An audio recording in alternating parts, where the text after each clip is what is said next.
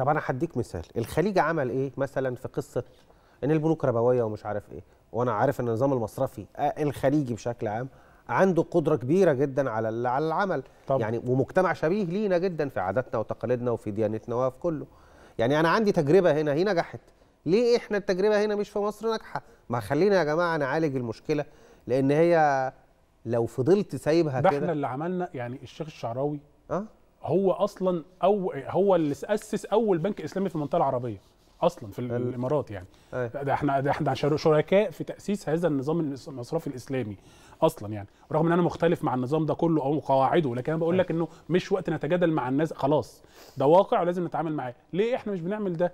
ما مش ما عارف. أعرفش أنا كمان. فطب دور, نظامنا دور الإعلام. مهم هنا. دور آه. الإعلام مهم إنه حضرتك توضح للناس إن هناك خيارات استثمارية أمامه أخرى كتيرة جدا. طيب إحنا اتكلمنا عن آه، الفلوس لو اتحطت في البنك. آه. في ناس تانية بتحط فلوسها في البيت وفي ناس تانية بتحط فلوسها في ذهب وفي ناس تانية بتحط فلوسها في عقارات. صحيح.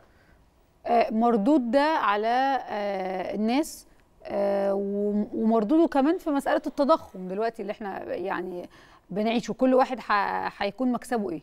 هقول لك حاجة.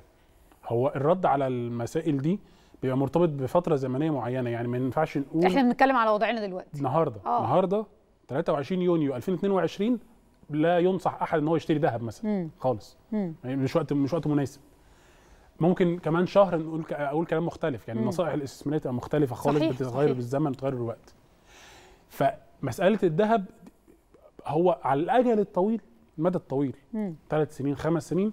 آه هو آمن آمن جدا. لكن بتواجه مشكلة في التسييل لو أنت محتاج الفلوس النهارده بتواجه مشكلة. ممكن تبيعه بخسارة أصلا. يعني في ناس اللي اشترت في شهر ثلاثة الناس دي اتورطت في 300 جنيه زيادة. مم. سعر غ... سعر وهمي سعر كان فقاعة حصلت يعني بسبب مشاكل الدولار وكده فالناس. حطت تقييمات غلط. سعر الذهب الذهب طلع العيار ل 1200 جنيه وهو أصلا نزل- سعره الحقيقي نزل كان دلوقتي. 900 نزل. طبعا ما هو ده الطبيعي. أنا فاكر إن أنا في شهر أربعة طلعت أنا وغيري يعني الموضوع كان بسيط يعني وسهل إن حد يتوقعه. ده سعر وهمي فقاع بابل. لازم السعر ينزل. ده سعر مش طبيعي ولا. في 190 دولة حول العالم. السعر 900 جنيه بالدولار يعني بما يوازي بالدولار وفي مصر 1200 فده مش. طبيعي. بيتكلم في الجرام. بالظبط. فوقتها أنا كنت بقول آه بالظبط. فوقتها أنا كنت بقول إنه ده مش طب- وقت مناسب طب. العقارات البورصة فيها فرصة كبيرة مم. آه مثلا شركة غزل المحله هتطرح أسهمها النهارده مم. أه النهارده النهارده غزل المحله تطلع تطلع أسهمها في فرص كتيرة في البورصة بس. برضه هسأل السؤال تاني مم. هو في كام شركة شركة آه، سمسره أوراق مالية ليها متوفر فروع مع في البورصة. آه هي نفس آه. الفجوة بنلعب في يعني آه. هي نفس برضه. برضه. هتلاقي شركة أو شركتين تقريبا. بالظبط. كله متركز فين؟ القاهرة اسكندرية. القاهرة الجيزة اسكندرية. القاهرة الجيزة اسكندرية. ممكن شر... من كام شركة؟ من 60 70 كان في 60 زمان حاجة 80 اسمها بورصة النيل وقالوا هنشتغل على الشركات الصغيرة وهننزل المحافظات. لا ما فيش الكلام ده حصل الكلام ده ما حصلش. لا ما حصلش. مم.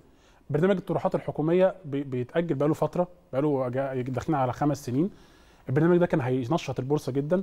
عندنا أمل إن هو الفترة الجاية لما يتم طرحه بقى على آخر السنة يعني الكلام إن هو على آخر السنة وفي شركات قوات مسلحة كمان دي هتنشط جدا البورصة. أنا أنصح الناس وأنا أول واحد هشتري فيها الشركات دي. شركات ناجحة جدا. مضمونة. مضمون ناجحة جدا. ومستقرة. بالظبط. قوائمها المالية متينة وقوية جدا جدا. فده سهم قوي. بس في risk هنا. البورصة فيها risk. صغير وهيطلع. بالظبط. بس هنا البورصة فيها ريسك فيها نسبة نسبة احتمالات من خسارة أموالك. غير البنك البنك كان zero risk. فإحنا بنتدرج بدرجة المخاطرة. البنك هو رقم واحد. فصناديق الاستثمار. اللي ما كانش يعرف قبل كده بقى إن في حاجة اسمها صناديق استثمار انت تقدر النهارده لو معاك مثلا هنفترض مليون جنيه 500 ألف جنيه ممكن تروح لصندوق استثمار تقول له لو سمحت اتفضل فلوسي أنا عايزك تعمل لي محفظة محفظة متنوعة هتحط لي جزء سندات. بالظبط تحط لي جزء في سندات الخزانة مثلا تحط لي جزء في الأسهم تحط لي جزء في ودايع تحط لي جزء وانت لو ما عندكش خبرة هم بيكون عندهم. حد يديك الخبرة دي ويقول لك ممكن تستثمر في إيه هو أكيد ده انت بتقعد مع خبير استثماري أو خبير اقتصادي؟ وده zero risk؟ لا. ده طبعا أنت اللي في بتحدد. جزء طبعا. أنت اللي بتحدد بقى هنا. العميل هو اللي بيحدد هو عايز إيه. لأنه كلما زادت المخاطر المخاطر كلما زادت فرص الأرباح خلي بالك. صحيح. آه. كلما انخفضت المخاطر كلما انخفضت الأرباح. في هنا معادلة و balance بيحصل. فأنت عايز إيه؟ مثلا 20 80 20% من محفظتك تبقى كلها فيها مخاطر كبيرة عالية زي الأسهم و80% مضمونة زي سندات الخزانة ما فيهاش أي risk. انت بتبقى عايز إيه؟ انت اللي بتقول لهم ولا 100% مفيش risk؟ فانت بتقول لهم أو 50 50 دي صناديق استثمار موجوده وبناء عليه. واحد اتنين تلاتة أربعة. البنوك الإسلامية لازم تقوم بدورها. واحد. الاعلام لازم يوعي الناس. لازم. الاقتصاديين وأنا بلوم نفسي والمؤسسات الاقتصادية مش في الدولة للناس لازم توصل للناس وكل واحد يتكلم مع اللي بالطريقة اللي شايفها مع الناس. لازم يتم تنظيم الجهد ده كله عشان نوصل للناس دي. الفلوس دي حرام إنها تضيع على الاقتصاد. نقدر إن إحنا ندخلها. لو دخلت في البنوك هتمول مشروعات. لو دخلت في البورصة هتنشط شركات كتيرة. صحيح. لو دخلت في صناديق الاستثمار هتر... هتزود الناتج المحلي وهتخلق فرص عمل. الفلوس دي حرام إن ده هي الاقتصاد تبقى الغير رسمي اللي إحنا طول الوقت بنتكلم عنه. بالظبط. كده. فدي دي دي يعني روشته سريعه لل... للوضع وحلوله. صحيح. واسمح لي إن أنا يعني أقتبس الجملة اللي لقيتها هدير. الفجوة. هي فعلا صحيح. فجوة. فجوة ما بين المؤسسات المصرفية والنظام المصرفي اللي مش قادر يتواصل ويسوق نفسه كويس للمواطنين وفجوة بين المواطنين اللي مش عايزين حساباتهم تتكشف للدولة أو مش عايزين يحطوا فلوسهم في البنوك عشان حرام أو مش عايزين يخاطروا ويقولوا إن أنا معايا فلوس من مصادر غير مشروعة. صح. كل دي نماذج على اليمين كل دي نماذج على اليسار. أو أحيانا كتير بيكون في نقص للمعلومة ونقص للوعي علشان برضو نكون صح. آه، منصفين يعني.